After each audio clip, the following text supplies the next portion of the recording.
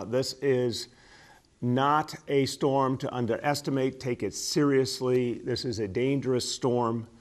And I ask people to get in mind that tomorrow is going to be a really tough day.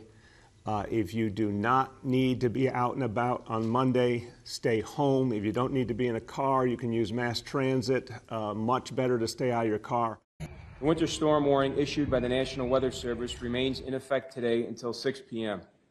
The National Weather Service is reporting 8.8 inches of snow at O'Hare and 9.1 inches of snow at Midway. We can expect additional accumulation throughout the afternoon. Residents can anticipate high winds and gusts of 30 miles an hour throughout the day and evening. We urge residents to plan accordingly and allow extra time while driving, especially during tomorrow morning's commute.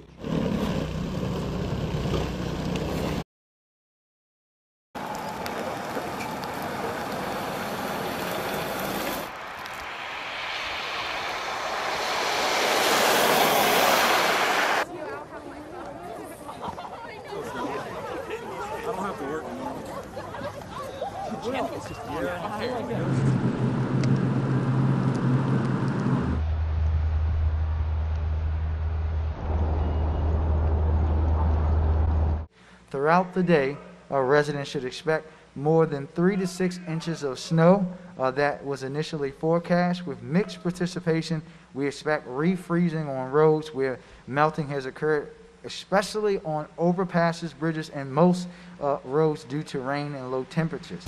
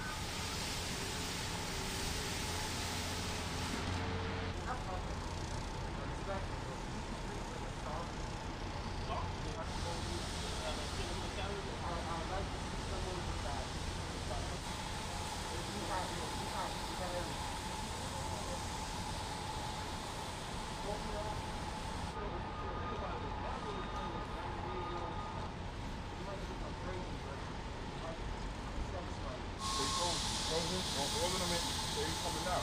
That's what he just asked. I was like, yeah.